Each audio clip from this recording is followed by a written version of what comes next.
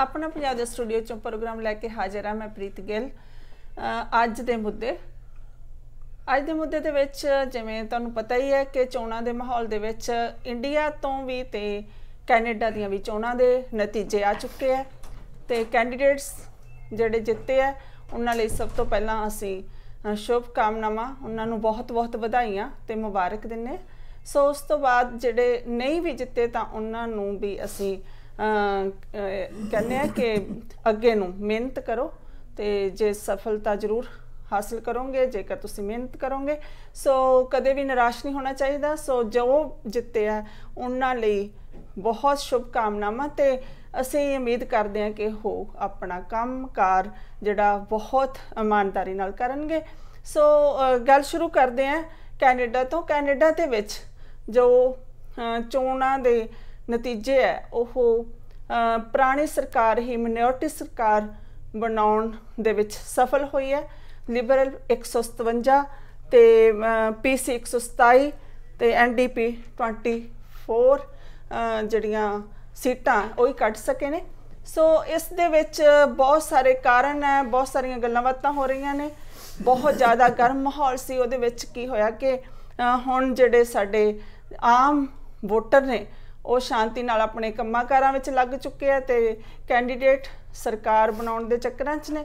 ਸੋ Trudeau ਜੀ ਆਪਣੀ ਸਰਕਾਰ ਬਣਾ ਰਹੇ ਆ। ਉਹਨਾਂ ਨੇ ਬਿਆਨ ਦਿੱਤਾ ਕਿ ਉਹ ਮਿਨੋਰਟੀ ਸਰਕਾਰ ਖੁਦ ਹੀ ਬਣਾਉਣਗੇ।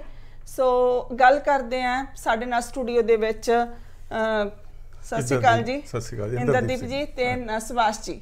ਨਮਸਕਾਰ। ਮੇਰੇ ਵੱਲੋਂ ਆਪਣਾ ਪੰਜਾਬ ਦੇ ਸਰੋਤਿਆਂ ਨੂੰ ਵੱਖ-ਵੱਖ ਮੁਲਕਾਂ ਦੇਸ਼ਾਂ 'ਚ ਬੈਠੇ ਦਰਸ਼ਕਾਂ ਨੂੰ ਨਮਸਕਾਰ ਸਤਿ ਸ੍ਰੀ ਅਕਾਲ ਤੇ ਆਦਾਬ। ਹਾਂਜੀ ਗੱਲ ਕਰਦੇ ਆ ਕੈਨੇਡਾ ਦੀਆਂ ਚੋਣਾਂ ਦੀ। ਕਿਵੇਂ ਤੁਹਾਨੂੰ ਕਿਵੇਂ ਲੱਗਿਆ ਰਿਜ਼ਲਟ ਤੁਹਾਡੇ ਆਸ ਦੇ ਮੁਤਾਬਕ ਆਏ ਜਾਂ ਕੁਝ ਥੋੜਾ ਬਹੁਤ ਇੱਧਰ ਉੱਧਰ ਆਏ ਇੰਦਰਦੀਪ ਜੀ? ਅਹ ਦੇਖੋ ਰਿਜ਼ਲਟ ਤਾਂ ਇਹ ਹੈਗਾ ਕਿ ਥੋੜਾ ਜਿਹਾ ਲੋਕਾਂ ਨੂੰ ਆਸ ਹੈਗੀ ਸੀ ਵੀ ਸ਼ਾਇਦ ਜਿਹੜੇ ਜਿੱਦਾਂ ਹੁਣ ਆਪਾਂ ਚਰਚਾ ਸੁਣ ਰਹੇ ਸੀ ਵੀ ਇੰਡੀਆ ਤੋਂ ਵੀ ਸਪੋਰਟ ਆ ਰਹੀ ਹੈ ਪੀਸੀ ਜਿਹੜੀ ਪਾਰਟੀ ਹੈਗੀ ਹੈ ਕੰਜ਼ਰਵੇਟਿਵ ਪਾਰਟੀ ਹੈ ਹਾਂਜੀ। ਉਹਦੇ ਬਾਰੇ ਕਾਫੀ ਚਰਚਾ ਸੀ। ਤੇ ਦੂਜਾ ਇਹ ਸੀ ਕਿ ਕੁਝ ਜਿਹੜੀ ਇਮੀਗ੍ਰੇਸ਼ਨ ਦੀਆਂ ਜਿਹੜੀਆਂ ਪਾਲਿਸੀਜ਼ ਹੈਗੀ ਸੀ ਲਿਬਰਲ ਗਵਰਨਮੈਂਟ ਦੀਆਂ ਉਹਦੇ ਬਾਰੇ ਵੀ ਲੋਕਾਂ ਨੂੰ ਥੋੜਾ ਜਿਹਾ ਜਿਹੜੀ ਪ੍ਰੈਜ਼ੈਂਟ ਗਵਰਨਮੈਂਟ ਹੈਗੀ ਹੈ ਟੂਡੋ ਦੀ ਉਹਨਾਂ ਥੋੜੀ ਨਾਰਾਜ਼ਗੀ ਚੱਲ ਰਹੀ ਸੀ ਕਿ ਇਹਨਾਂ ਨੇ ਜਿਹੜਾ ਉਸ ਨੂੰ ਜਿੱਦਾਂ ਇੱਕ ਰੈਗੂਲੇਟਡ ਵੇ ਦੇ ਨਾਲ ਇਮੀਗ੍ਰੇਸ਼ਨ ਕਰਨੀ ਚਾਹੀਦੀ ਸੀ ਉਸ ਪ੍ਰੋਪਰ ਵੇ ਦੇ ਨਾਲ ਨਹੀਂ ਕੀਤੀ ਔਰ ਲੋਕਾਂ ਨੂੰ ਇੱਥੇ ਆ ਕੇ ਕਾਫੀ ਪ੍ਰੋਬਲਮਸ ਆ ਰਹੀਆਂ। ਪਰ ਲੋਕਾਂ ਨੇ ਫੇਰ ਵੋਟ ਆਪਣੇ ਲਿਬਰਲ ਨੂੰ ਹੀ ਪਾਈ ਜਦੋਂ ਕਿ ਬਹੁਤ ਜ਼ਿਆਦਾ ਸ਼ਿਕਾਇਤ ਸੀਗੀ ਲੋਕਾਂ ਨੂੰ ਇਮੀਗ੍ਰੇਸ਼ਨ ਦੇ ਕਾਨੂੰਨ ਦੇ ਵਿੱਚ ਵੀ ਹੋਰ ਵੀ ਬਹੁਤ ਸਾਰੀਆਂ ਗੱਲਾਂ ਕਿ ਲਿਬਰਲ ਤੋਂ ਕਾਫੀ ਸ਼ਿਕਾਇਤ ਸੀ। ਪਰ। ਵੋਟਾਂ ਫੇਰ ਵੀ ਲਿਬਰਲ ਦੇ ਹਿੱਸੇ ਜ਼ਿਆਦਾ ਆਈਆਂ। ਤੁਸੀਂ ਕੀ ਕਾਰਨ ਸਮਝਦੇ ਹੋ ਸੁਭਾਸ਼ ਜੀ? ਇਹਦਾ ਕਾਰਨ ਇਹ ਹੈ ਵੀ ਇਹ ਐਂਟੀ ਕੰਪੈਂਸੀ ਤੇ ਥੋੜੀ ਬਹੁਤੀ ਚੱਲਦੀ ਹੈ। ਹਾਂਜੀ। ਜਿਹੜੇ ਟਰੂਡੋ ਸਾਹਿਬ ਨੇ ਜੋ 4 ਸਾਲ ਰਾਜ ਕੀਤਾ ਤਾਂ ਉਹਦੇ ਵਿੱਚ ਸ਼ੁਰੂ ਤੋਂ ਹੀ ਰੁਝਾਨ ਦਿਸ ਰਿਹਾ ਸੀ। ਵੀ ਐਂਟੀ ਕੰਪੈਂਸੀ ਥੋੜੀ ਜੀ ਹੈਗੀ ਹੈ। ਉਹਦੇ ਕਾਰਨ ਇਹ ਨੇ ਕਿ ਕੁਝ ਪ੍ਰੋਗਰਾਮ ਜਿਹੜੇ ਆ ਕਿਉਂਕਿ ਗਵਰਨਮੈਂਟਾਂ ਦੀਆਂ ਰਨ ਕਰਨੀਆਂ ਹੁੰਦੀਆਂ ਕਈ ਮਜਬੂਰੀਆਂ ਹੁੰਦੀਆਂ। ਇੰਟਰਨੈਸ਼ਨਲ ਪ੍ਰੈਸ਼ਰਸ ਹੁੰਦੇ ਨੇ ਇੰਟਰਨਲ ਪ੍ਰੈਸ਼ਰਸ ਹੁੰਦੇ ਤਾਂ ਇਮੀਗ੍ਰੇਸ਼ਨ ਦੀ ਗੱਲ ਕੀਤੀ ਇਹਨਾਂ ਨੇ। ਹਾਂਜੀ। ਉਹਦੀ ਪ੍ਰੋਬਲਮ ਸੀ। ਉਹ ਕੁੱਲ ਮਿਲਾ ਕੇ ਜਿਹੜੀ ਪ੍ਰੋਪਰ ਡਿਲੀਵਰ ਕਰਨਾ ਚਾਹੀਦਾ ਸੀ ਉਹ এনवायरमेंट्स ਦਾ ਸੀ ਮਸਲਾ ਬੜਾ ਵੱਡਾ। ਉੱਤੇ ਵੀ ਉਹ ਪ੍ਰੋਪਰ ਡਿਲੀਵਰ ਨਹੀਂ ਕਰ ਸਕੇ। ਇੱਕ ਜਿਹੜਾ ਉਹਨਾਂ ਦੇ ਉੱਤੇ ਬੜਾ ਵੱਡਾ ਇੱਕ ਐਲੀਗੇਸ਼ਨ ਲੱਗਾ ਵੀ ਇਹਨਾਂ ਨੇ ਕਾਰਪੋਰੇਟ ਸੈਕਟਰ ਨੂੰ ਕੁਝ ਕੰਪਨੀਆਂ ਨੂੰ ਇਹਨਾਂ ਨੇ ਬੈਨੀਫਿਟ ਦਿੱਤਾ ਫੇਵਰ ਕੀਤੀ। ਉਹ, ਉਹਦੇ ਵਿੱਚ ਸਕੈਂਡਲ ਵੀ ਆਏ, ਉਹ ਕੋਈ ਕਈਆਂ ਰਿਜ਼ਾਈਨ ਵੀ ਕਰਨਾ ਪਿਆ ਪਹਿਲਾਂ ਦੇ ਮਿਨਿਸਟਰੀ ਦੇ ਵਿੱਚੋਂ। ਉਹਦਾ ਉਹ ਵੀ ਕਾਰਨ ਹੋ ਸਕਦੇ ਆ। ਲੇਕਿਨ ਔਨ ਦੀ ਹੋਲ ਕਿਉਂਕਿ ਲੋਕ ਇੱਥੋਂ ਦੇ ਜਿਹੜੇ ਜਾਗਰਤ ਨੇ, ਵੋਟਰ ਇਹਨਾਂ ਬੜਾ ਕੌਸ਼ੀਅਸ ਹੈਗਾ। ਉਹਨਾਂ ਨੇ ਔਨ ਦੀ ਹੋਲ ਮਿਲਾ ਕੇ ਦੇਖਿਆ ਕਿ ਨਹੀਂ, ਇਹ ਲਿਬਰਲ ਨੇ, ਫਿਰ ਵੀ ਲੋਕਾਂ ਦੀ ਫੇਵਰ ਚ ਨੇ ਵੈਲਫੇਅਰ ਸਟੇਟਸ ਨੂੰ ਜ਼ਿਆਦਾ ਤਰਜੀਹ ਦੇਣਗੇ। ਔਰ ਦੂਜਾ ਕਾਰਨ ਇਹ ਵੀ ਬਣ ਗਿਆ ਕਿ ਜਿਹੜੀ ਜਿਹੜੇ ਡਾਟਾ ਬਾਹਰ ਆ ਰਹੇ ਸੀ ਪੋਲ ਰਿਜ਼ਲਟ ਆ ਰਹੇ ਸੀ ਬਾਹਰ ਨਿਕਲ ਕੇ ਮੀਡੀਆ ਦੇ ਉਹਦੇ ਵਿੱਚ ਲੋਕਾਂ ਨੇ ਇਹ ਸੋਚਿਆ ਵੀ ਇੱਕ ਜਗਮੀਤ ਸਿੰਘ ਕੋਲੋਂ ਇੱਕ ਬੜੀ ਵੱਡੀ ਗਲਤੀ ਹੋ ਗਈ ਸਟਾਰਟਿੰਗ 'ਚ ਵੀ ਅਸੀਂ ਅਗਰ ਮਿਨੋਰਟੀ ਗਵਰਨਮੈਂਟ ਹੈ ਕਿਤੇ ਅਸੀਂ ਲਿਬਰਲ ਨੂੰ ਸਪੋਰਟ ਕਰਾਂਗੇ। ਲੋਕ ਬੜੇ ਸਿਆਣੇ ਨੇ ਉਹਨਾਂ ਆਖਿਆ ਵੀ ਜੇ ਲਿਬਰਲ ਨੂੰ ਸਪੋਰਟ ਕਰਨੀ ਹੈ ਤੇ why we should not vote for the conservative ਤਾਂ ਕੰਜ਼ਰਵੇਟਿਵ ਦਾ ਪਰਸੈਂਟੇਜ ਜਿਹੜਾ ਉਹ ਉਹਨਾਂ ਦਾ ਵੱਧ ਗਿਆ। ਔਰ ਸਾਬਤ ਵੀ ਹੋਇਆ ਇਲੈਕਸ਼ਨਾਂ ਦੇ ਵਿੱਚ ਉਹਨਾਂ ਦਾ ਪਰਸੈਂਟੇਜ 1% ਵੱਧ ਵੋਟ ਪਈ। ਲੇਕਿਨ ਸੋਸ਼ਲ ਇੰਜੀਨੀਅਰਿੰਗ ਹੁੰਦੀ ਇਲੈਕਸ਼ਨਾਂ ਦੇ ਵਿੱਚ ਬੜੀ ਢੰਗ ਨਾਲ ਲੜੇ ਜਾਂਦੇ ਆ। ਉਹਦੇ ਕਾਰਨ ਔਰ ਲੋਕਾਂ ਦੀ ਫੇਵਰ ਦੇ ਪੀਸੀ ਇੰਨੀਆਂ ਸੀਟਾਂ ਨਹੀਂ ਕੱਢ ਸਕਿਆ ਉਹਦਾ ਕੀ ਕਾਰਨ ਤੁਸੀਂ ਸਮਝੋ ਦੇਖੋ ਮੇਨ ਤਾਂ ਇਮੀਗ੍ਰੇਸ਼ਨ ਦਾ ਇਸ਼ੂ ਸੀ ਜਿਹਦੇ ਕਰਕੇ ਦੇਖੋ ਪਿਛਲੀ ਵਾਰੀ ਜਿਹੜਾ ਜੋ ਵੀ ਟੂਡੋ ਗਵਰਨਮੈਂਟ ਨੇ ਜਿੱਦਾਂ ਦੇ ਵੀ ਪਾਲਿਸੀਜ਼ ਕੱਢੀਆਂ ਸੀ ਲੋਕ ਉਹਤੇ ਤੋਂ ਬਹੁਤੇ ਖੁਸ਼ ਨਹੀਂ ਸੀ ਇਸੇ ਕਰਕੇ ਜਿਹੜੀਆਂ ਪਹਿਲਾਂ ਪਿਛਲੀ ਵਾਰ ਇਹਨਾਂ ਦੇ 188 ਸੀਟਾਂ ਸੀ ਇਸ ਵਾਰੀ ਘਟ ਕੇ ਜਿਹੜੀਆਂ 157 ਰਹਿ ਗਈਆਂ। ਹਾਂਜੀ। ਔਰ ਇਹਦਾ ਇੱਕ ਇਹੀ ਜਿਹੜੀ ਪਾਲਿਸੀ ਹੈ ਇਹਦਾ ਇੱਕ ਦੂਜਾ ਐਸਪੈਕਟ ਵੀ ਹੈ।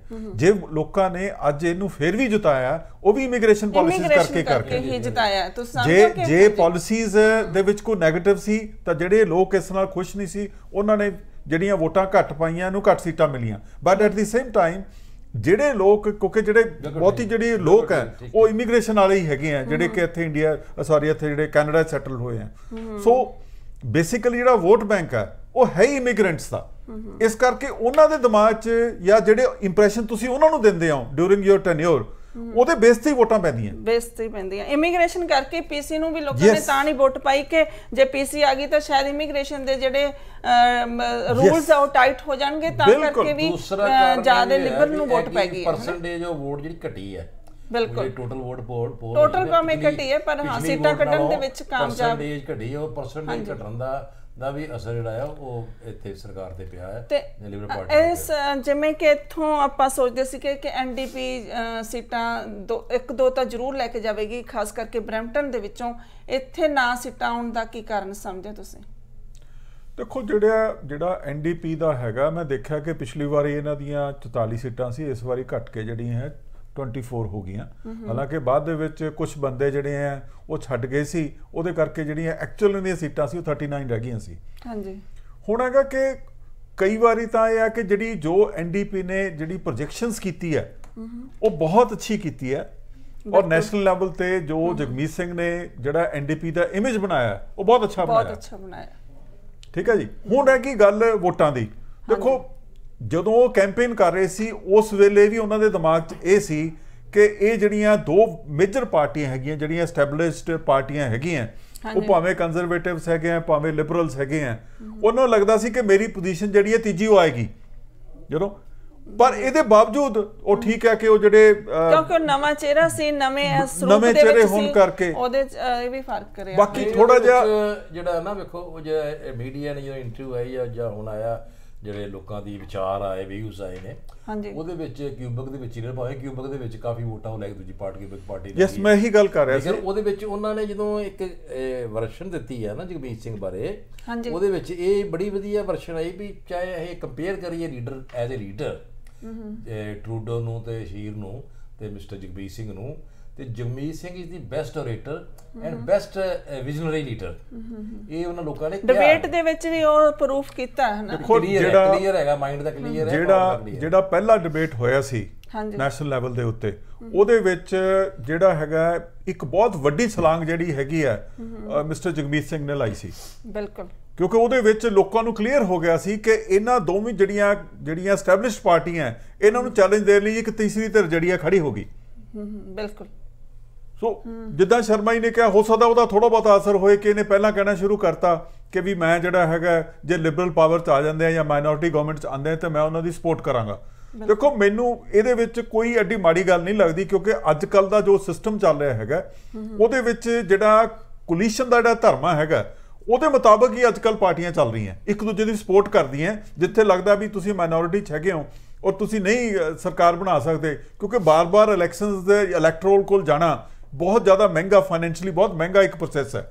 ਸੋ ਇਮੀਡੀਏਟਲੀ ਇੱਕ ਹੋਰ ਇਲੈਕਸ਼ਨ ਕਰਾਉਣਾ ਜਸਟ ਟੂ ਨੋ ਦਾ ਕਿ ਲੋਕਾਂ ਦੇ ਮਨਾਂ 'ਚ ਕੀ ਹੈ ਉਹਨਾਂ ਦਾ ਵਰਡਿਕਟ ਕੀ ਹੈ। ਸੋ ਬੈਸਟ ਇਹ ਹੈ ਕਿ ਗਵਰਨਮੈਂਟ ਨੂੰ ਐਸਟੈਬਲਿਸ਼ ਕਰਨ ਲਈ ਜੇ ਉਹਨਾਂ ਨੇ ਕਿਹਾ ਕਿ ਜੀ ਹਾਂ ਵੀ ਕਿ ਮੈਂ ਜਿਹੜਾ ਹੈਗਾ ਉਹਨਾਂ ਨੂੰ ਸਪੋਰਟ ਕਰਨ ਨੂੰ ਤਿਆਰ ਹਾਂ ਇਹ ਮੈਨੂੰ ਲੱਗਦਾ ਕਿ ਇੱਕ ਜਗਮੀਤ ਸਿੰਘ ਦਾ ਇੱਕ ਹੋਰ ਪੋਜ਼ਿਟਿਵ ਐਸਪੈਕਟ ਹੈਗਾ ਕਿ ਇਨ ਦਾ ਨੈਸ਼ਨਲ ਇੰਟਰਸਟ ਉਹ ਨਹੀਂ ਚਾਹੁੰਦਾ ਕਿ ਲੋਕਾਂ ਕੋਲ ਦੁਆਰਾ ਜਾਇਆ ਜਾਏ। ਉਹਦੇ ਮਨ 'ਚ ਇਹ ਹੈ ਕਿ ਅਸੀਂ ਜੇ ਸਰਕਾਰ ਬਣਦੀ ਹੈ ਤੇ ਕਿਉਂ ਨਾ ਹੁਣ ਬਣਾ ਦਿੱਤੀ ਜਾਏ। ਦੂਜਾ ਸਵਾਲ ਕੋਲੀਸ਼ਨ ਸਰਕਾਰ ਦੂ-। ਤੁਸੀਂ ਕੀ ਸੋਚਦੇ ਹੋ ਕਿ ਕਈ ਭਵਿੱਖ ਹੋਏਗਾ ਨੈਕਸਟ ਟਾਈਮ ਕੰਟਰੀ ਲਈ। ਕੋਲੀਸ਼ਨ ਸਰਕਾਰ ਠੀਕ ਹੋਏਗੀ? ਦੂਜਾ ਸਵਾਲ ਜਿਹੜਾ ਕੀਤਾ ਤੁਸੀਂ ਹਾਂਜੀ। ਨਾ ਵੀ ਟਰੂਡੋ ਚਾਹੁੰਦਾ ਵੀ ਮੈਂ ਮਿਨੋਰਿਟੀ ਗਵਰਨਮੈਂਟ ਹੀ ਰਨ ਕਰਾਂਗਾ। ਉਹ ਉਹਦੀ ਠੀਕ ਹੈ ਮੈਂ ਸਮਝਦਾ ਮੇਰਾ ਜੇ ਸੁਜੈਸ਼ਨ ਹੈ ਨਾ ਵੀ ਜਗਮੀਤ ਸਿੰਘ ਬਰਾੜ ਨੂੰ ਸੌਰੀ ਜਗਮੀਤ ਸਿੰਘ ਨੂੰ ਇਹ ਪਾਰਟੀ ਦੇ ਸਰਕਾਰ ਦੇ ਵਿੱਚ ਐਂਟਰ ਨਹੀਂ ਹੋਣਾ ਚਾਹੀਦਾ। ਹਾਂਜੀ ਹਾਂਜੀ। ਉਹਦੇ ਵਿੱਚ ਕੀ ਹੈ ਵੀ ਇਹਨਾਂ ਦੀ ਆਪਣਾ ਏਜੰਡਾ ਹੈ। ਉਹਨਾਂ ਦਾ ਆਪਣਾ ਏਜੰਡਾ ਹੈ। ਕਿਉਂਕਿ ਬਿਲਿੰਗ ਜਦੋਂ ਪਾਸ ਕਰਨੀ ਕੋਈ ਬਿੱਲ ਪਾਸ ਕਰਨਾ ਕਿਉਂਕਿ this is a welfare state democratic welfare state ਹੈ। ਉਹਦੇ ਵਿੱਚ ਇਹਨਾਂ ਦੀ ਲੋੜ ਪੈਣੀ ਹੈ ਮਿਸਟਰ ਟਰੂਡੋ ਨੂੰ। ਹਾਂਜੀ। ਉਹਦੇ ਵਿੱਚ ਕੀ ਹੈ ਵੀ ਅਸੀਂ ਅਗਰ ਗਵਰਨਮੈਂਟ ਦੇ ਵਿੱਚ ਐਂਟਰ ਹੋ ਜੰਨੇ ਆ ਜਾਂ ਕੋਈ ਆਪਣੀ ਰਿਸਪੌਂਸਿਬਿਲਟੀ ਲੈ ਲੈਂਦੇ ਆ ਉਹਦੇ ਉਨੀ ਹੀ ਰਿਸਪੌਂਸਿਬਿਲਟੀ ਸਾਡੀ ਬਣ ਜਾਂਦੀ ਹੈ। ਉਨੇ ਹੀ ਰਿਸਪੌਂਸਿਬਲ ਹੋ ਜਾਂਦੇ ਆ ਗਵਰਨਮੈਂਟ ਦੀ ਇਹ ਜਿਹੜੀਆਂ ਪੋਜ਼ਿਟਿਵ ਜਾਂ ਨੈਗੇਟਿਵ ਹਾਂਜੀ ਉਹ ਆਉਣ ਵਾਲੇ ਟਾਈਮ ਚ ਉਹਨਾਂ ਨੂੰ ਥੋੜਾ ਨਹੀਂ ਲੇਕਿਨ ਅਸੀਂ ਅਗਰ ਬਾਹਰੋਂ ਸਪੋਰਟ ਕਰਦੇ ਆ ਆਪਣਾ ਏਜੰਡੇ ਨੂੰ ਜਿਹੜਾ ਇਹਨਾਂ ਦਾ ਏਜੰਡਾ ਇਹਨਾਂ ਨੇ ਲੋਕਾਂ ਸਾਹਮਣੇ ਰੱਖਿਆ ਜਮੀਤ ਸਿੰਘ ਨੇ ਵੀ ਅਸੀਂ ਜਿਹੜੀ ਹੈਲਥ ਵਾਸਤੇ ਜਾਂ ਸਟੂਡੈਂਟਸ ਵਾਸਤੇ ਜਾਂ ਸੀਨੀਅਰ ਸਿਟੀਜ਼ਨ ਵਾਸਤੇ ਜਾਂ এনवायरमेंट्ਸ ਉੱਤੇ এনवायरमेंट ਤੇ ਹਾਂਜੀ। ਇਕਨੋਮਿਕਸ ਤੇ ਟੈਕਸ ਲਾਉਣਾ ਕਾਰਪੋਰੇਟ ਸੈਕਟਰ ਨੂੰ। ਅਸੀਂ ਇਹ ਮੈਂ ਸਮਝਦਾ ਵੀ ਅਗਰ ਇਹ ਬਾਹਰੋਂ ਰਹਿ ਕੇ ਸਪੋਰਟ ਵੀ ਕਰਨ ਉਹਨਾਂ ਦੀ ਔਰ ਆਪਣੇ ਏਜੰਡੇ ਨੂੰ ਇਨਸਿਸਟ ਕਰਨਾ ਵੀ ਇਸ- ਇਹ ਇੰਪਲੀਮੈਂਟ ਕਰੋ। ਹਾਂ ਇੰਪਲੀਮੈਂਟ ਵੀ ਕਰਵਾਉਣ ਇੰਪਲੀਮੈਂਟ ਕਰੋ। ਉਹਦੇ ਨਾਲ ਇਹਨਾਂ ਦਾ ਕਿਉਂਕਿ ਇਹਨਾਂ ਦੀ ਫਿਰ ਕਾਰਗੁਜ਼ਾਰੀ ਜਿਹੜੀ ਹੈ ਨਾ ਜਗਮੀਤ ਸਿੰਘ ਦੀ ਉਹ ਬੜੀ ਵਧੀਆ ਦਿਸੇਗੀ ਵੀ ਇਹ ਬੰਦਾ ਜਿਹੜਾ ਹੈ ਲੋਕਾਂ ਦੇ ਵਾਸਤੇ ਗੱਲ ਕਰ ਰਿਹਾ ਔਰ ਉੱਥੇ ਪਾਰਲੀਮੈਂਟ ਜਦੋਂ ਬੋਲਣਗੇ ਪਤਾ ਲੱਗ ਜਾਏਗਾ। ਅਗਰ ਗਵਰਨਮੈਂਟ ਦੇ ਵਿੱਚ ਹੁੰਦੇ ਫਿਰ ਗਵਰਨਮੈਂਟ ਦੀਆਂ ਬਾਉਂਡੇਜ ਹੁੰਦੀਆਂ ਕਈ ਲਿਮਿਟੇਸ਼ਨਸ ਹੁੰਦੀਆਂ। ਉਹਨੂੰ ਵਿੱਚ ਉਹਨੂੰ ਕੱਟ ਨਹੀਂ ਸਕਦਾ। ਮੈਂ ਸ਼ਰਮਾ ਜੀ ਦੇ ਇਸ ਵਿਚਾਰ ਨਾਲ ਸਹਿਮਤ ਨਹੀਂ ਹਾਂ। ਮੈਂ ਜੋ ਕੋਲੀਸ਼ਨ ਗਵਰਨਮੈਂਟਸ ਦਾ ਜੋ ਵਰਕਿੰਗ ਦੇਖੀ ਹੈ ਉਹ ਹੈ ਕਿ ਜਿੱਥੇ ਕਿਤੇ ਵੀ ਕੋਲੀਸ਼ਨ ਗਵਰਨਮੈਂਟ ਬਣਦੀ ਹੈ ਆਬਵੀਅਸਲੀ ਹੈ ਕਿ ਉਹਨਾਂ ਦੀ ਜਿਹੜੀ ਵਿਚਾਰਧਾਰਾ ਹੈ ਦੂਜੇ ਨਾਲ ਅਲੱਗਾ ਹੁੰਦੀ ਹੈ। ਦੇਖੋ ਜਦੋਂ ਆਪਾਂ ਬੀਜੇਪੀ ਤੇ ਪੀਡੀਪੀ ਦੀ ਜਿਹੜੀ ਗਵਰਨਮੈਂਟ ਇੰਡੀਆ ਬਣੀ ਸੀ ਜੇਐਨਕੇ ਦੇ ਵਿੱਚ ਦੇ ਵਰ ਇੰਟਾਇਰਲੀ ਡਿਫਰੈਂਟ ਪਰ ਇੰਡੀਆ ਦੇ ਵਿੱਚ ਇੱਕ ਮਿੰਟ ਜਗਮੀਤ ਸਿੰਘ ਨੇ ਤਾਂ ਹੀ ਪਹਿਲਾਂ ਹੀ ਕਹਿ ਦਿੱਤਾ ਸੀਗਾ ਕਿ ਮੈਂ ਸਪੋਰਟ ਸਿਰਫ ਲਿਬਰਲ ਨੂੰ ਹੀ ਦੇ ਸਕਦਾ ਮੈਂ ਪੀਸੀ ਨੂੰ ਨਹੀਂ ਦੇਊਂਗਾ ਉਹਦਾ ਕਾਰਨ ਇਹ ਸੀ. ਕਿ ਇਹਨਾਂ ਦੇ ਥੋੜਾ ਜਿਹਾ। ਆਪਸ ਦੇ ਵਿੱਚ ਇਹਨਾਂ ਦੀਆਂ ਜਿਹੜੀਆਂ ਪਾਲਿਸੀਜ਼ ਹੈ ਉਹ argument- ਮਿਲਦੀਆਂ ਨੇ ਮੈਨੂੰ ਇੱਕ ਉਹਨਾਂ argument ਇੱਕ ਮਿੰਟ complete ਹਾਂਜੀ, ਕਰ ਲੈਣ ਉਹਨਾਂ ਦਿਓ। ਦੀਆਂ ਪਾਲਿਸੀਜ਼ ਥੋੜੀਆਂ ਮਿਲਦੀਆਂ ਮੈਂ ਨੇ ਮੈਂ ਦੇ, ਦੱਸਦਾ। ਮੈਂ ਮੈਂ ਉਹ ਨਹੀਂ ਗੱਲ ਕਰ ਰਿਹਾ ਜੀ ਮੈਂ ਇਹ ਗੱਲ ਕਰ ਰਿਹਾ ਜਿੱਦਾਂ ਹੁਣ ਤੁਸੀਂ ਦੇਖਿਆ ਹੋਣਾ ਕਿ ਜਦੋਂ ਯੂਪੀਏ ਦੀ ਗਵਰਨਮੈਂਟ ਬਣੀ ਸੀ ਡਾਕਟਰ ਮਨਮੋਹਨ ਸਿੰਘ ਦੇ ਪ੍ਰਧਾਨਗੀ ਹੇਠ when he was the prime minister ਉਹ ਦੋ ਵਾਰੀ ਰਿਹਾ ਸੈਕੰਡ ਟਾਈਮ ਦੇ ਵਿੱਚ ਜਿਹੜੇ ਲੈਫਟ ਵਾਲੇ ਸੀ ਜਦੋਂ ਕਿ ਹਾਲਾਂਕਿ ਲੈਫਟ ਦੀ ਆਈਡੀਓਲੋਜੀ ਕਾਂਗਰਸ ਨਾਲ ਮਿਲਦੀ ਨਹੀਂ। ਬਿਲਕੁਲ। ਉਸ ਕੇਸ ਕੀ ਕਰਦੀਆਂ ਸਰਕਾਰਾਂ? ਮੈਂ ਮੈਂ ਇਸ ਨੂੰ ਕਿਉਂ ਪ੍ਰੂਵ ਕਰ ਰਿਹਾ ਕਿ ਇਹ ਪੋਸੀਬਲ ਹੈਗਾ ਹੈ ਕੈਨੇਡਾ ਦੇ ਵਿੱਚ ਵੀ। ਉਹ ਕੀ ਕਰਦੀਆਂ ਕਿ ਇੱਕ ਕਾਮਨ ਮਿਨੀਮਮ ਪ੍ਰੋਗਰਾਮ ਬਣਾ ਲੈਂਦੀਆਂ।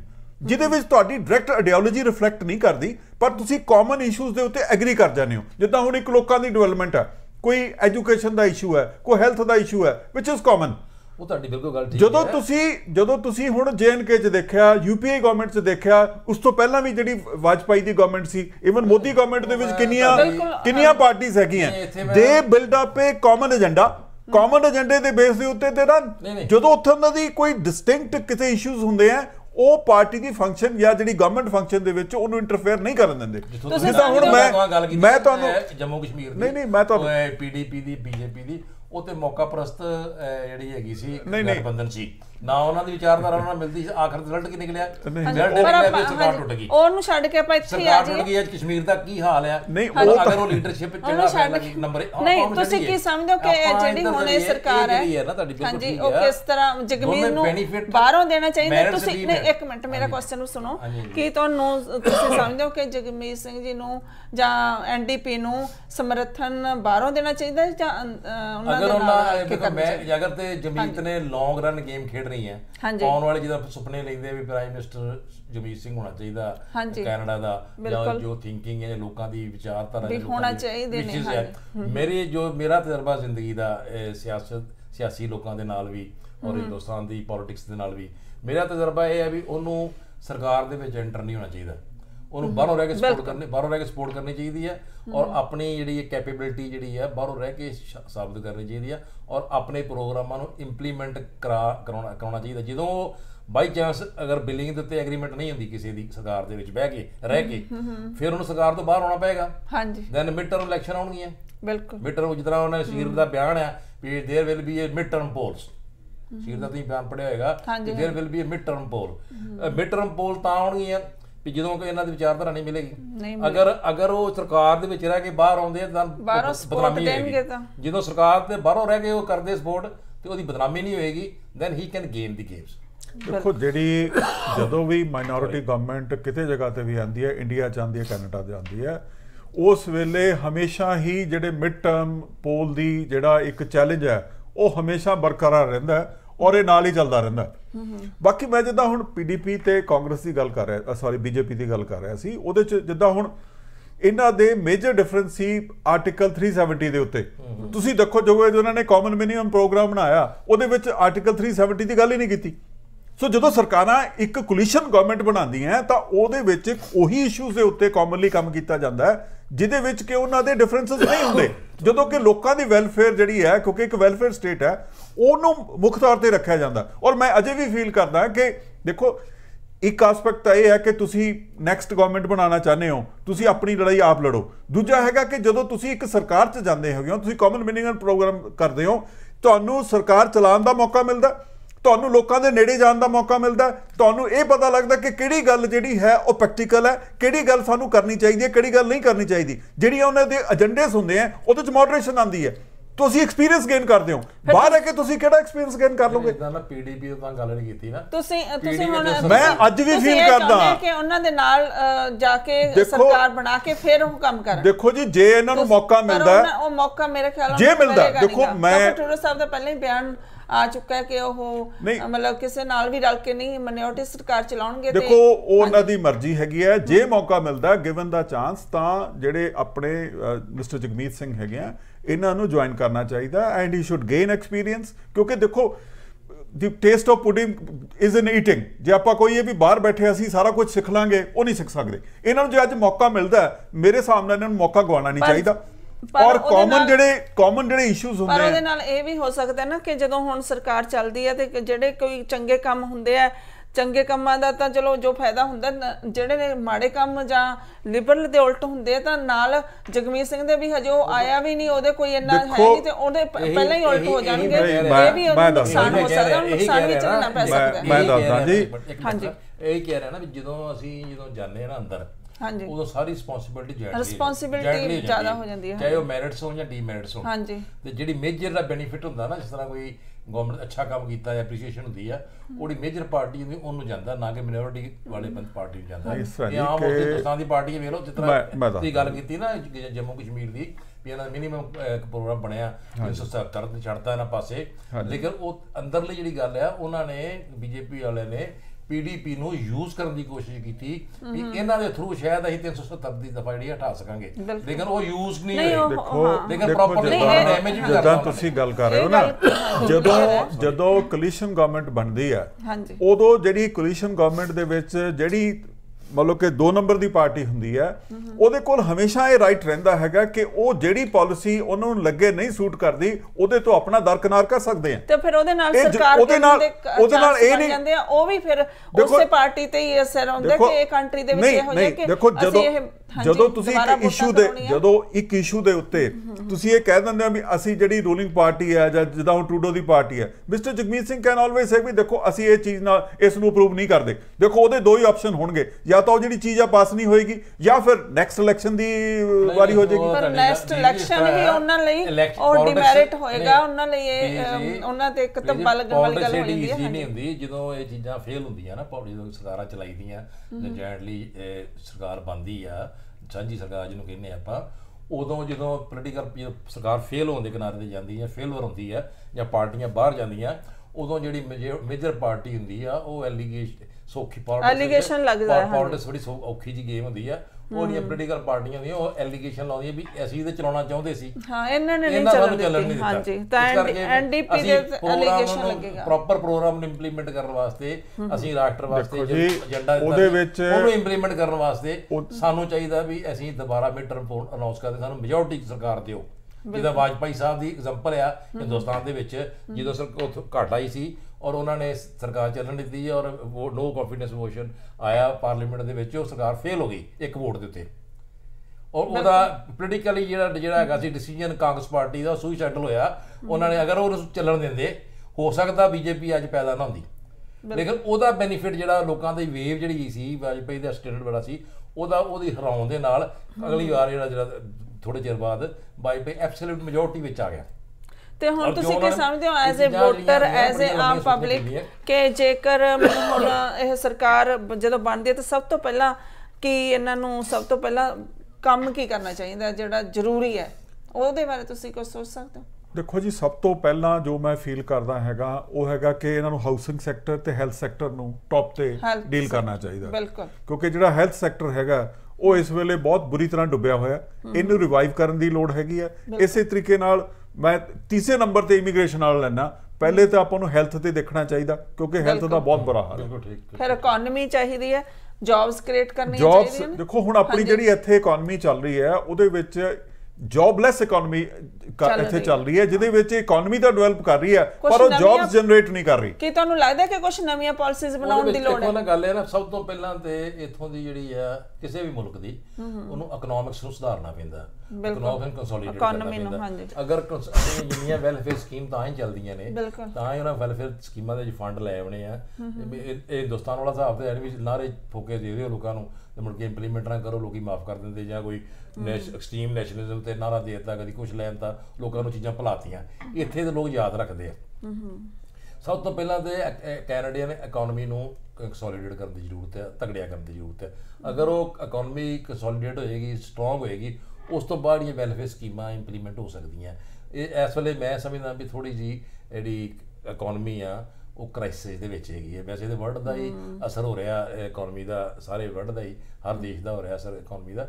ਲੇਕਿਨ ਇਹਨੂੰ ਕੰਸੋਲੀਡੇਟ ਕਰਨ ਦੀ ਜ਼ਰੂਰਤ ਹੈ। ਉਸ ਤੋਂ ਬਾਅਦ ਜਿਹੜੇ ਏਜੰਡੇ ਨੇ ਇਹਨਾਂ ਦੇ ਵੈਲਫੇਅਰ ਦੇ ਇਮੀਗ੍ਰੇਸ਼ਨ ਦਾ ਜਾਂ ਮੈਡੀਕਲ ਦਾ ਔਰ ਮੈਡੀਕਲ ਦਾ ਖਾਸ ਕਰਕੇ ਹਾਂਜੀ। ਸੀਨੀਅਰ ਸਿਟੀਜ਼ਨ ਦਾ ਐਜੂਕੇਸ਼ਨ ਦਾ ਲੋਨ ਦਾ ਅਗਰ ਲੋਨ ਦੇ ਤਾਂ ਹੀ ਆਪਾਂ ਇੰਟਰਸਟ ਮਾਫ ਕਰ ਸਕਾਂਗੇ ਨਾ ਜੇ ਸਾਡੇ ਕੋਲ ਫੰਡਸ ਹੋਣਗੇ ਸਫੀਸ਼ੀਐਂਟ ਫੰਡ ਹੋਣਗੇ ਜਾਂ এনवायरमेंटਸ ਨੂੰ ਤਾਂ ਹੀ ਅਸੀਂ ਇੰਪਲੀਮੈਂਟ ਕਰ ਸਕਾਂਗੇ ਕੰਟਰੋਲ ਕਰ ਸਕਾਂਗੇ ਜੇ ਸਾਡੇ ਕੋਲ ਫੰਡਸ ਹੋਣਗੇ ਇਸ ਕੀ ਤੁਸੀਂ ਸਮਝਦੇ ਹੋ ਕਿ environment ਦਾ ਮਸਲਾ ਇੱਥੇ ਹੈਗਾ? ਹਾਂਜੀ ਇਹ ਬਹੁਤ। ਵੱਡਾ ਮਸਲਾ ਹੈਗਾ। ਇੱਥੇ। ਹਾਂਜੀ ਸਾਡੇ ਕੰਟਰੀ ਹਾਂਜੀ ਹਾਂਜੀ ਹੋ ਰਿਹਾ ਵੱਧ। ਰਿਹਾ ਵੱਧ ਰਿਹਾ। ਔਰ ਇਹ ਇਹਦੀ ਜਿਹੜੀ ਡਿਊਟੇਰੇਸ਼ਨ ਹੈ ਅੱਗੇ ਨਾਲੋਂ ਹੋਰ ਵੱਧ ਰਹੀ ਜਿਹੜੇ ਹੈ। ਅਲਬਰਟਾ ਦੇ ਰਿਸੋਰਸਸ ਨੇ ਉਹਨਾਂ ਨੂੰ ਅਸੀਂ ਨਾ ਯੂਜ਼ ਕਰੀਏ। ਸਾਡੀ ਇਕਨੋਮੀ ਵਾਸਤੇ ਜਦੋਂ ਸਾਡੇ ਸਾਡੇ এনवायरमेंट ਦਾ ਇੰਨਾ ਮਸਲਾ ਹੋਰ ਸਾਰੇ ਕੰਟਰੀ ਕਰ ਰਹੀਆਂ ਜੇ ਕਿਤੇ ਹੋਰ ਹੁੰਦਾ ਆਪਣੇ ਸਾਰੇ ਦੂਸਰੇ ਲੋਕ ਫਾਇਦਾ ਲੈਂਦੇ ਆ ਤੇ ਸਾਡਾ ਕੈਨੇਡਾ ਕਿਉਂ ਨਹੀਂ ਲੈ ਰਿਹਾ? ਦੇਖੋ ਇਸ ਤਰ੍ਹਾਂ ਹੈਗਾ ਕਿ ਜਿਹੜੀ ਇਹ ਦੁਨੀਆ ਹੈਗੀ ਆ ਇਸ ਵੇਲੇ ਸਾਰੇ ਜਿਹੜੇ ਕੰਟਰੀਜ਼ ਹੈਗੇ ਆ ਉਹ ਆਪਣੇ ਨੈਚੁਰਲ ਰਿਸੋਰਸਸ ਦਾ ਬੜੀ ਬੁਰੀ ਤਰ੍ਹਾਂ ਇਸਤੇਮਾਲ ਕਰ ਰਹੇ। ਮੈਂ ਬੜੀ ਬੁਰੀ ਤਰ੍ਹਾਂ ਤਾਂ ਵਰਡ ਯੂਜ਼ ਕਰ ਰਿਹਾ ਹੈਗਾ ਕਿ ਉਹਨਾਂ ਦਾ ਜਿਹੜਾ ਫੋਕਸ ਹੈ ਉਹਦਾ ਜਿਹੜਾ ਮੈਂ ਮੈਂ ਦੱਸ ਰਿਹਾ ਅਲਬਰਟਾ ਦੇ ਲੋਕ ਇਸ ਤਾਂ ਹੀ ਇਹਨਾਂ ਨੂੰ ਕੋਈ ਵੋਟ ਨਹੀਂ ਪਈ ਇੱਥੇ ਲਿਬਰ ਨੂੰ ਵੀ ਨਹੀਂ ਪਈ। ਮੈਂ ਇਸੇ ਕਰਕੇ ਉੱਥੇ ਉਸੇ ਗੱਲ ਤੇ ਆ ਰਿਹਾ। ਮੈਂ ਬੜੀ ਬੁਰੀ ਤਰ੍ਹਾਂ ਇਸ ਕਰਕੇ ਕਹਿ ਰਿਹਾ ਹੈਗਾ ਕਿ ਜਦੋਂ ਉਹ ਇਸਤੇਮਾਲ ਕਰਦੇ ਆ ਨੈਚੁਰਲ ਰਿਸੋਰਸਸ ਦਾ ਤਾਂ ਉਹ ਸਿਰਫ ਇੱਕ ਐਸਪੈਕਟ ਦੇਖਦੇ ਆ ਕਿ ਅਸੀਂ ਜਿਹੜੀ ਡਿਵੈਲਪਮੈਂਟ ਕਰਨੀ ਹੈ ਉਹਦੇ ਵਿੱਚ ਨੇਚਰ ਦੇ ਜਿਹੜੇ ਰਿਸੋਰਸਸ ਆ ਉਹਨੂੰ ਕਿੱਦਾਂ ਇਸਤੇਮਾਲ ਕਰਨਾ। ਹੈ। ਉਹਦੇ ਵਿੱਚ ਜਿਹੜਾ ਪਰਮਨੈਂਟ ਨੇਚਰ ਨੂੰ ਡੈਮੇਜ ਹੋ ਰਿਹਾ ਹੈ ਔਰ ਜਿਸ ਦੇ ਨਾਲ ਟੋਟਲ ਇਕੋਲੋਜੀ ਡੈਮੇਜ ਹੋ ਰਹੀ ਹੈ ਉਹਦੇ ਵੱਲ ਘੱਟ ਧਿਆਨ ਦਿੱਤਾ ਜਾਂਦਾ। ਇਸੇ ਕਰਕੇ ਜਿਹੜੀ ਜਿਹੜੀਆਂ ਤੁਹਾਡੀਆਂ ਪੈਰਿਸ ਕਨਵੈਨਸ਼ਨਸ ਹੋਈਆਂ ਜਾਂ ਉੱਥੇ ਟੋਕੀਓ ਦੇ ਵਿੱਚ ਤੁਹਾਡੀਆਂ ਕਲਾਈਮੇਟ ਦੀਆਂ ਜਿਹੜੀਆਂ ਕਨਵੈਨਸ਼ਨਸ ਹੋਈਆਂ ਉਹਦੇ ਵਿੱਚ ਜਾਂ ਜਿਹੜੇ G8 ਦੇ ਵਿੱਚ ਜਿਹੜੇ ਤੁਹਾਡੇ G7 8 ਦੇ ਵਿੱਚ ਯੂਐਨਓ ਦੇ ਵਿੱਚ ਵੀ ਜਿਹੜੀਆਂ ਰੈਜ਼ੋਲੂਸ਼ਨਸ ਪਾਸ ਹੋਏ ਆ ਜਿਹੜੀ ਆ ਪਿੱਛੇ ਜੇ ਟੀਨੇਜਰ ਜਿਹੜੀ ਲੜਕੀ ਨੇ ਜਿਹੜਾ ਇੱਕ ਜਿਹੜਾ ਬਿਆਨ ਦਿੱਤਾ ਹੈ ਵਰਲਡ ਲੈਵਲ ਦੇ ਉੱਤੇ ਇਹ ਸਾਰੀਆਂ ਗੱਲਾਂ ਇਸ ਗੱਲ ਨੂੰ ਸਾਬਤ ਕਰਦੀਆਂ ਹੈਗੀਆਂ ਕਿ ਕੋਈ ਵੀ ਕੰਟਰੀ ਲੀਵ ਅਸਾਈਡ ਕੈਨੇਡਾ ਉਹ ਜਿਹੜਾ ਡਿਵੈਲਪਮੈਂਟ ਦੇ ਕੰਮ ਨੂੰ ਕਰਨ ਲੱਗਿਆ ਨੇਚਰ ਨੂੰ ਇਗਨੋਰ ਕੀਤਾ ਜਾਂਦਾ ਹੈ ਇਕੋਲੋਜੀ ਨੂੰ ਦੂਜੇ ਨੰਬਰ ਤੇ ਰੱਖਿਆ ਜਾਂਦਾ। ਪਰ ਕੈਨੇਡਾ ਦੇ ਵਿੱਚ ਨੇਚਰ ਨੂੰ ਇਗਨੋਰ ਨਹੀਂ ਕੀਤਾ ਜਾਂਦਾ। ਇਹ ਤੁਹਾਨੂੰ ਵੀ ਪਤਾ ਹੈ ਤੇ ਸਾਡੇ ਕੋਲੇ ਬਹੁਤ ਜ਼ਿਆਦਾ ਲੈਂਡ ਹੈ, ਸਾਡੇ ਕੋਲੇ ਬਹੁਤ ਜ਼ਿਆਦਾ ਦਰਖਤ ਹੈ। ਅਸੀਂ ਉਹਨਾਂ ਨੂੰ ਹੋਰ ਢੰਗ ਨਾਲ, ਵਧੀਆ ਢੰਗ ਨਾਲ ਅਸੀਂ ਆਪਣੀ ਇਕਨੋਮੀ ਨੂੰ ਵੀ ਵਧੀਆ ਬਣਾ ਸਕਦੇ ਹਾਂ ਤੇ ਉਹ ਰਿਸੋਰਸਸ ਦਾ ਫਾਇਦਾ ਲੈ ਸਕਦੇ ਹਾਂ। ਤੇ ਜੇ ਬਾਕੀ, ਜ- ਹੈਗਾ ਆਪਣਾ ਕਲਾਈਮੇਟ ਤੇ, ਤਾਂ ਸਾਡੇ ਇੱਥੋਂ ਲੋਕ ਜਿਹੜੇ ਦੂਸਰੇ, ਜਿਵੇਂ ਸਾਡੇ ਥਰਡ ਲੈਵਲ ਦਾ ਆਪਾਂ ਕਹਿੰਦੇ ਆ ਏਸ਼ੀਅਨ ਕੰਟਰੀਜ਼ ਦੇ ਵਿੱਚ ਜਾ ਕੇ ਕੰਮ ਕਰਨ, ਜੇ ਅਸੀਂ ਕਲਾਈਮੇਟ ਲਈ ਸੱਚੀ ਮੁੱਚੀ ਕੰਮ ਕਰਨਾ ਚਾਹੁੰਦੇ ਆ ਸੋ ਚਲੋ ਗੱਲ ਇੱਥੇ ਖਤਮ ਕਰਦੇ ਆ ਕੈਨੇਡਾ ਦੀ ਤੇ ਅਸੀਂ ਸ਼ੁਭ ਸ਼ਾਮਾਂ ਦਿੰਦੇ ਆ ਕਿ ਆਉਣ ਵਾਲਾ ਟਾਈਮ ਸਾਡਾ ਬਹੁਤ ਵਧੀਆ ਹੋਵੇ ਤੇ ਜਿਹੜੇ ਸਾਡੇ ਕੈਂਡੀਡੇਟ ਚੁਣ ਕੇ ਭੇਜੇ ਆ ਉਹ ਬਹੁਤ ਵਧੀਆ ਕੰਮ ਕਰਨਗੇ ਮਿਹਨਤ ਨਾ ਕਰਨਗੇ। ਸੋ ਉਹਨਾਂ ਲਈ ਸ਼ੁਭ ਕਾਮਨਾਵਾਂ। ਸੋ ਗੱਲ ਕਰਦੇ ਆ ਹੁਣ ਇੰਡੀਆ ਦੀਆਂ ਚੋਣਾਂ ਦੀ। ਇੰਡੀਆ ਵੀ ਰਾਜਸਥਾਨ ਤੇ sorry, ਮਹਾਰਾਸ਼ਟਰ ਤੇ ਹਰਿਆਣਾ। ਦੀਆਂ ਜਿਹੜੀਆਂ ਰਿਜ਼ਲਟ ਆ ਚੁੱਕੇ ਆ। ਤੇ ਉਹਦਾ ਦੱਸੋ ਕਿਵੇਂ ਹਰਿਆਣਾ ਬਾਰੇ ਗੱਲਬਾਤ ਕਰਦੇ ਆ ਤੁਸੀਂ ਕੀ ਸਮਝਦੇ ਹੋ ਉੱਥੇ? ਹਿਮਾਚਲ ਤੇ ਹਰਿਆਣਾ ਤੋਂ ਗੱਲ ਸ਼ੁਰੂ ਕਰਦੇ ਆ ਉੱਥੇ ਸਰਕਾਰ ਫਿਰ ਕਿਵੇਂ, ਭਾਜਪਾ ਦੀਆਂ ਕਾਫੀ ਸੀਟਾਂ ਘੱਟ ਰਹਿ ਗਈਆਂ, ਜਦੋਂ ਕਿ ਗੱਲਬਾਤ ਹੋ ਰਹੀ ਸੀ ਕਿ ਬਹੁਤ ਜ਼ਿਆਦਾ ਸੀਟਾਂ ਲੈ ਜਾਣਗੇ ਤੇ ਉੱਥੇ ਉੱਥੇ ਵੀ ਇਹੀ ਹਾਲਾਤ ਨੇ। ਮਿਨੋਰਟੀ ਸਰਕਾਰ ਬਣੇਗੀ ਕਿਵੇਂ ਤੋੜ ਭੱਜ ਹੋਏਗੀ ਕੀ ਹੋ ਰਿਹਾ ਉਹਦੇ ਬਾਰੇ ਗੱਲਬਾਤ ਦੇਖੋ ਜੀ ਪਲੀਜ਼ ਦੋ ਕਰੋ। ਦੋ ਮੇਜਰ ਸਟੇਟ ਹੈਗੇ ਆ ਇੱਕ ਮਹਾਰਾਸ਼ਟਰ ਹੈਗਾ ਇੱਕ ਹਰਿਆਣਾ ਆਪਾਂ ਹੈਗਾ ਹਰਿਆਣਾ ਤੋਂ ਸ਼ੁਰੂ ਕਰ ਲਈਏ। ਜਿੱਥੇ ਮੈਂ ਦੋਵਾਂ ਦੀ ਗੱਲ ਕਰ ਲੈਣਾ ਜੀ ਜਿੱਥੇ ਕਿ ਦੋਵੇਂ ਜਗ੍ਹਾ ਦੇ ਉੱਤੇ ਬੀਜੇਪੀ ਜਿਹੜੀ ਹੈ ਉਹ ਕਾਬਜ ਸੀ। ਮਹਾਰਾਸ਼ਟਰ ਦੇ ਵਿੱਚ ਸ਼ਿਵ ਸੈਨਾ ਵੀ ਨਾਲ ਸੀ। ਮਹਾਰਾਸ਼ਟਰ ਦੇ ਵਿੱਚ ਤੇ ਹਰਿਆਣੇ ਦੇ ਵਿੱਚ ਜਿਹੜੀ ਕੈਂਪੇਨਿੰਗ ਬੀਜੇਪੀ ਵੱਲੋਂ ਕੀਤੀ ਗਈ ਉਹਨਾਂ ਨੇ ਉਸੇ ਪੈਟਰਨ ਤੇ ਕੀਤੀ ਸੀ ਜਿਹਦੇ ਵਿੱਚ ਉਹਨਾਂ ਨੇ 19 ਦੀਆਂ ਜਿਹੜੀਆਂ ਜਨਰਲ ਇਲੈਕਸ਼ਨਸ ਆ ਉਹ ਜਿੱਤੀਆਂ ਸੀ। ਉਹਦੇ ਵਿੱਚ ਕਹਿਣ ਤੋਂ ਮਤਲਬ ਹੈ ਕਿ ਉਹਨਾਂ ਨੇ ਜਿਹੜੇ ਨੈਸ਼ਨਲ ਇਸ਼ੂ ਸੀ ਭਾਵੇਂ ਉਹ ਆਰਟੀਕਲ 370 ਹੈ ਭਾਵੇਂ ਉਹ ਜਿਹੜਾ ਜਿਹੜਾ ਸੋ ਕਾਲ ਨੈਸ਼ਨਲਿਜ਼ਮ ਦਾ ਨਾਰਾ ਹੈਗਾ।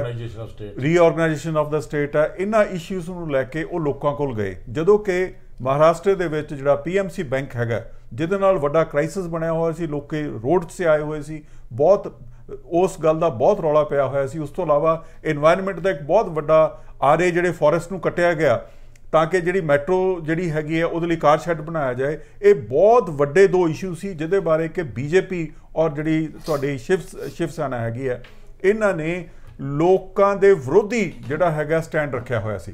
ਜਿਹਦਾ ਰਿਜ਼ਲਟ ਕੀ ਸੀ?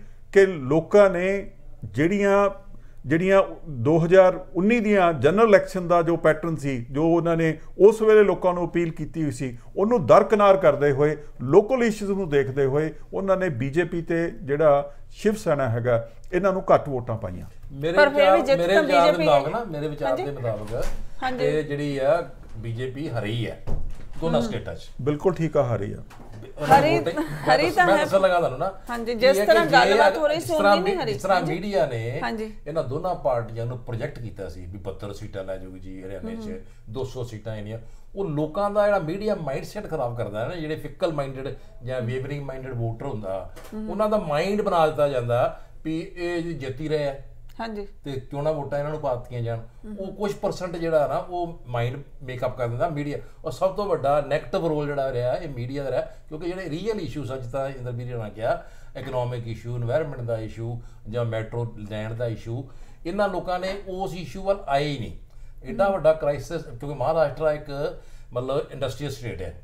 ਹਾਂਜੀ। ਕਿਸਾਨੀ ਦੇ ਲਿਹਾਜ਼ ਨਾਲ ਵੀ ਉਹ ਅੱਗੇ ਐਡਵਾਂਸ ਮਤਲਬ ਸ਼ੂਗਰ ਲੌਬੀ ਬਹੁਤ ਵੱਡੀ ਉੱਥੋਂ ਦੀ। ਇਹਨਾਂ ਨੇ ਉੱਥੋਂ ਦੇ ਜਿਹੜਾ ਕਰੈਕਟਰ ਸੀ ਸ਼ਰਦ ਪਵਾਰ ਜੋ ਵੀ ਇਹਦਾ ਪਰਸਨਲ ਲਾਈਫ ਕੁਝ ਵੀ ਹੋਵੇ ਉਹਦਾ ਕਰੈਕਟਰ ਅਸੈਸੀਨੇਟ ਬੜਾ ਤਗੜਾ ਕਰਨ ਦੀ ਕੋਸ਼ਿਸ਼ ਕੀਤੀ। ਏਜੰਸੀਆਂ ਨੂੰ ਜਿਹੜਾ ਈਡੀ ਦੀ ਐਨਫੋਰਸਮੈਂਟ ਡਿਪਾਰਟਮੈਂਟ ਦਾ ਉਹਨਾਂ ਨੋਟਿਸ ਕੱਢਿਆ। ਔਰ ਉਹਨਾਂ ਉਹਨਾਂ ਉਲਟਾ ਗਿਆ ਉਹਨੇ ਕਿਹਾ ਜੀ ਮੈਂ ਜਿਹੜਾ ਮਾ- ਜਿਹੜਾ ਮਰਾਠਾ ਸੀ ਸ਼ਿਵਾਜੀ ਮਰਾਠਾ ਉਹ ਦਿੱਲੀ ਦਰਬਾਰ ਗਏ ਝੁਕਿਆ ਨਹੀਂ ਕਦੀ ਵੀ। ਔਰ ਉਹਨਾਂ ਨੇ ਉਹਨਾਂ ਬੰਦੇ ਕੋਲ ਸਾਈਨ ਦਵਾ ਕੇ ਜਿਹੜਾ 17 ਤੋਂ ਸੀਟ ਦਵਾਈ ਉਹ ਬੀਜੇਪੀ ਦੇ ਖਿਲਾ- ਖ- ਖ- ਖੜਾ ਹੋ ਗਿਆ। ਉਹਦਾ- ਉਹਨਾਂ ਦਾ ਐਨਸੀਬੀ ਦਾ ਵੀ ਲੇਕਿਨ ਹਾਰ ਗਿਆ। ਔਰ ਇਸੇ ਤਰ੍ਹਾਂ ਉਹਨਾਂ ਨੇ ਇਸ਼ੂ ਉਲਟ ਪਾਤਾ ਤੇ- ਇਸੇ ਤਰ੍ਹਾਂ ਹਰਿਆਣੇ ਵਿੱਚ ਹਰਿਆਣੇ 'ਚ ਕੀ ਸੀ? ਹਰਿਆਣੇ 'ਚ ਪੋਲਰਾਈਜੇਸ਼ਨ ਕੀਤੀ ਸੀ ਕਿਸਾਨਾਂ ਦੀ ਤੇ ਦੂਜੀ ਜਿਹੜੀ ਨੌਨ ਜੱਟ ਵੋਟ ਸੀ। ਤੇ ਉਹ ਚ ਕੀ ਹੈ? ਕਾਂਗਰਸ ਨੂੰ ਵੋਟਾਂ ਕਾਫੀ ਪਈਆਂ। ਲੇਕਿਨ ਕੀ ਹੈ? ਕਾਂਗਰਸ ਆਪਣਾ ਉਹਨਾਂ ਦਾ ਆਪਣਾ ਘਰ ਸੈੱਟ ਨਹੀਂ ਹੈਗਾ। ਧੜੇਬੰਦੀ ਬੜੀ ਸੀ। ਇਸ ਕਰਕੇ ਉਹ ਹਾਰ ਗਈ। ਲੇਕਿਨ ਮੇਨ ਮੇਨ ਮੇਜਰ ਜਿਹੜਾ ਕੰਟਰੀਬਿਊਸ਼ਨ ਆ ਉਹ ਹੈਗੀ ਆ ਮੀਡੀਆ ਦੀ ਜਿਹੜੀ ਪ੍ਰੋਜੈਕਸ਼ਨ ਕੀਤੀ ਹੈ। ਉਸ ਤੋਂ ਬਾਅਦ ਹੁਣ ਆ ਗਿਆ ਤੁਹਾਡੇ ਹਰਿਆਣਾ ਚਟਾਲਾ। ਇੱਕ ਮਿੰਟ ਦੇ ਵਿੱਚ ਹੁਣ ਤੁਸੀਂ ਜਿਹੜੀ ਗੱਲ ਹੈ ਜੋ ਵੀ ਵੋਟਾਂ ਬਾਰੇ ਉੱਥੇ ਕਹਿਣੀ ਹੈ ਤੇ ਕਿਹਦੀ ਸਰਕਾਰ ਬਣ ਰਹੀ ਹੈ ਤਾਂ ਅੱਜ ਤੇ ਉਹ ਆ ਗਿਆ ਆ ਮੇਨ ਗਿਆ ਗੱਲ ਕਰ ਦਿਓ ਅਬੇ ਪਲੀਜ਼ ਚਟਾਲਾ ਬਣ ਰਿਹਾ ਨਾਲ ਡਿਪਟੀ ਸੀਐਮ ਔਰ ਉਹਦਾ ਜਿਹੜਾ ਖੱਟਰ ਪਤਾ ਨਹੀਂ ਜੀ ਮੇਰਾ ਖਿਆਲ ਵੀ ਖੱਟਰ ਨੂੰ ਸ਼ਾਇਦ ਚੀਫ ਮਿਨਿਸਟਰ ਨਾ ਬਣਾਉਣ ਕਿਉਂਕਿ ਉਹਦਾ ਰੰਗ ਫੇਸ ਇੰਪ੍ਰੈਸ਼ਨ ਤੋਂ ਲੱਗ ਰਿਹਾ ਸੀ ਵੀ ਸ਼ਾਇਦ ਨਾ ਬਣਾਉਣ ਕੱਲ ਨੂੰ ਇਲੈਕਸ਼ਨ ਹੋਣੀ ਉਹਨਾਂ ਦੀ ਲੀਡਰਸ਼ਿਪ ਦੀ ਇਲੈਕਸ਼ਨ ਹੋਣੀ ਹੈ। ਤੇ ਇਹਦੇ ਉਹ ਤੇ ਬਣੀ ਗਈ ਸਰਕਾਰ ਤੋਂ ਉੱਥੇ ਵੀ ਬਣ ਗਈ ਹੈ ਮੈਜੋਰਟੀ ਆ ਗਈ ਹੈ। ਲੇਕਿਨ ਜਿਹੜਾ ਆਉਣ ਦੀ ਹੋਲ ਜਿਹੜੀ ਆ ਬੀਜੇਪੀ ਨੂੰ ਬੜੀ ਸੱਟ ਬੈਕ ਵੱਜੀ ਆ ਔਰ ਇਹਨਾਂ ਨੂੰ ਆਪਣਾ ਆਪਣਾ ਕਰਨਾ ਪਏਗਾ ਦੁਬਾਰਾ ਸੋਚਣਾ ਪਏਗਾ ਵੀ ਅਸੀਂ ਇਸੇ ਪਾਲਿਸੀਆਂ ਚੱਲਣਾ ਐਕਸਟ੍ਰੀਮ ਨੈਸ਼ਨਲਿਜ਼ਮ ਵੱਲ ਚੱਲਣਾ ਜਾਂ ਸਹੀ ਇਕਨੋਮਿਕ ਜੋ ਜ਼ਰੂਰਤਾਂ ਹਿੰਦੁਸਤਾਨ ਦੀਆਂ ਇਕਨੋਮਿਕ ਇਸ਼ੂਜ਼ ਨੇ ਉਹਨਾਂ ਨੂੰ ਐਡਰੈਸ ਕਰਨਾ। ਇਸੇ ਤਰ੍ਹਾਂ ਪੰਜਾਬ ਦੇ ਵਿੱਚ ਹੈ ਪੰਜਾਬ 'ਚ ਕੈਪਟਨ ਬੜੀਆਂ ਤਿੰਨ ਸੀਟਾਂ ਜਿੱਤ ਕੇ ਬੜਾ ਖੁਸ਼ ਹੈ ਲੇਕਿਨ ਅਸਲੀ ਉਹਦਾ ਜਿਹੜਾ ਆਪਣਾ ਬੰਦਾ ਸੰਦੀਪ ਕੈਪਟਨ ਸੰਦੀਪ ਪਾਟਲ ਹਾਰ ਗਿਆ ਸਿੱਧੂ ਹਾਰ ਗਿਆ ਉਹਦਾ ਆਪਣਾ ਖਾਸ ਬੰਦਾ ਉਹਦਾ ਕੀ ਕਾਰਨ? ਉਹ ਹਾਰ ਗਿਆ ਇਹਦਾ ਮਤਲਬ ਜਿੱਤ ਕੋਈ ਨਹੀਂ ਹੈਗੀ ਕੈਪਟਨ ਸਾਹਿਬ ਦੀ ਵੀ ਤੇ ਹਾਂਜੀ। ਤੇ ਇਸ ਇੱਕ ਕਰਕੇ ਮਿੰਟ ਸਾਡਾ- ਤੇ। ਇਸ ਕਰਕੇ ਵੀ ਇਹਨਾਂ ਨੂੰ ਆਪਣਿਆਂ ਨੂੰ ਬੜਾ ਲੋਕਾਂ ਦੇ ਪ੍ਰਤੀ ਹਾਂਜੀ ਆਪਣੀਆਂ ਪਾਲਿਸੀਆਂ ਨੂੰ ਅਡਾਪਟ ਕਰਨਾ ਪਏਗਾ ਅਦਰਵਾਈਜ਼ ਇਹਨਾਂ ਪੋਲੀਟੀਕਲ ਪਾਰਟੀਆਂ ਆਉਣ ਵਾਲੇ ਸਮੇਂ ਵਿੱਚ ਸੌਰੀ ਸਾਡਾ। ਟਾਈਮ ਹੈ ਜਿਹੜਾ ਸਮਾਪਤੀ ਵੱਲ ਹੈ ਤੇ ਨੈਕਸਟ ਫਰਾਈਡੇ ਇਸੇ ਟਾਈਮ ਅਸੀਂ ਇੱਕ ਫਿਰ ਮੁੱਦਾ ਲੈ ਕੇ ਤੁਹਾਡੇ ਲਈ ਹਾਜ਼ਰ ਹੋਵਾਂਗੇ। ਸੋ ਉਦੋਂ ਤੱਕ ਤੇ ਛੁੱਟੀਆਂ। ਧੰਨਵਾਦ। ਸਤਿ ਸ੍ਰੀ ਅਕਾਲ। ਸਤਿ ਸ਼੍ਰੀ ਅਕਾਲ ਜੀ।